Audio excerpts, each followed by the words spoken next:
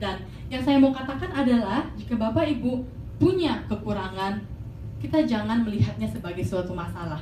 Kita fokus pada kelebihan kita, kita asah dan kita kembangkan terus kemampuan kita.